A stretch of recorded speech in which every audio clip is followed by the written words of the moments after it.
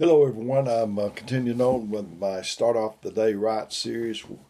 Uh, this is for June the 4th, 2021.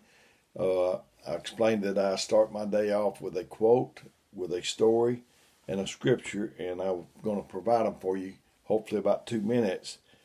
It says the quote is Character cannot be developed in ease and quiet. Only through experience of trial and suffering can the soul be strengthened, ambition inspired and success achieved. That was Helen Keller. Stories.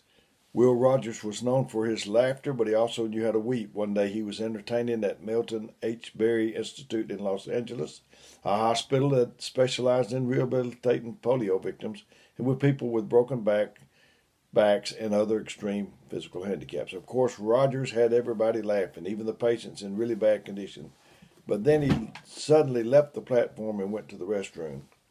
Milton Berry followed him to give him a towel, and when he opened the door, he saw Will Rogers leaning against the wall, sobbing like a child. He closed the door, and in a few minutes, Rogers appeared back at the platform as jovial as before. If you want to learn what a person is really like, ask three questions What makes him laugh? What makes him angry? What makes him weep?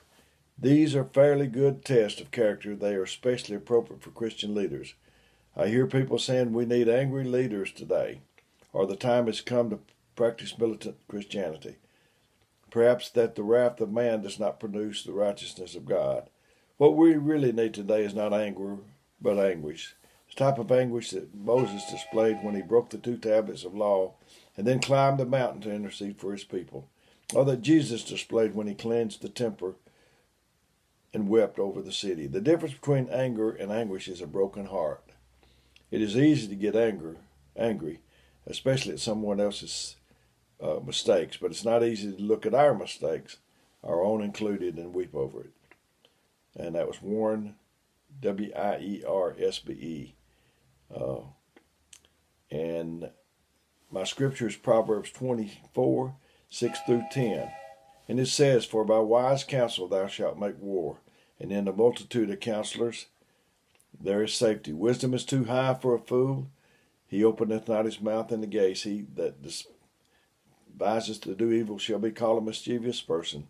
The thought of foolishness is a, as a scorner is an abomination. The thought of foolishness is sin, and the scorner is an abomination to men. If thou faint in the day of adversity, thy strength is small.